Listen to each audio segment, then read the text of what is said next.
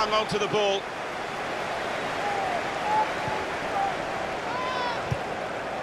Modric. Xhaka. They could pose some danger now. Decided to go infield, looking dangerous. Falcao! How about that for a goal? It's given them the breakthrough, and they've had to work very hard to find a way through this defence. But when it came, it was superbly taken.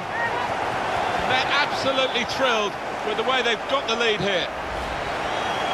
Well, if you keep going in to that sort of area, the ball will drop for you, and it dropped perfectly for him. I think that's a lesson to anybody uh, enduring a goal drought. Keep getting